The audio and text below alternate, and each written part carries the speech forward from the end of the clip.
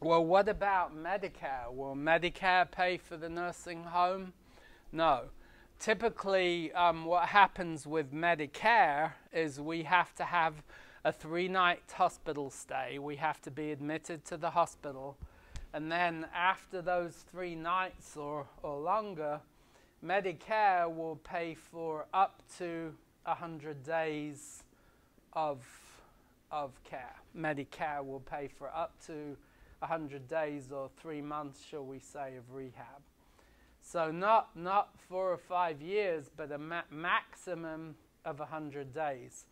And even it's worse than that because even after 21 days, Medicare can come in and, and uh, do a medical exam. And if Medicare finds that the person is not continuing to improve with rehab, then after 21 days, they can cut the, the Medicare off.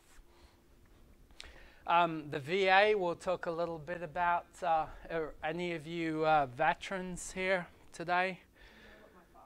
Okay, great. So we'll we'll definitely cover. Um, there are benefits available for veterans under certain circumstances, which I will touch on, which can be very useful.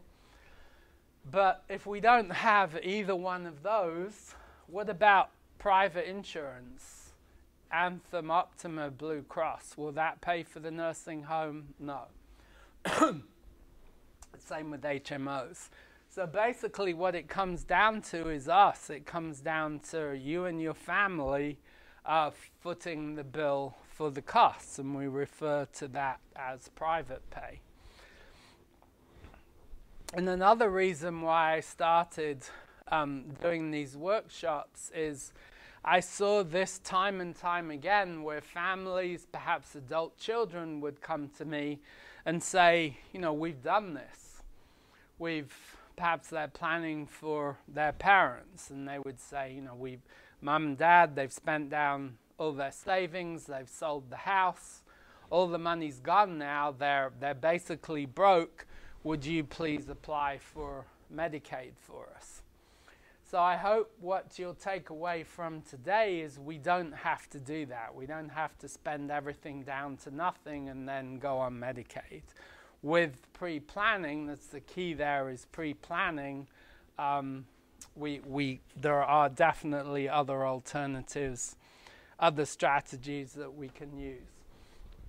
One of those I mentioned earlier is long-term care insurance. That's certainly useful under the right circumstances. Big problem though with that insurance is if we take it out in our 50s and 60s, of course the premiums are only going to go up. I've never seen them go down. So someone in their 70s or even up into their 80s, those premiums are going to be double, triple, or more of the initial uh, premiums when they took the policy out. So that can be certainly be cost prohibitive, um, that type of insurance, if you're, if you're able to get it.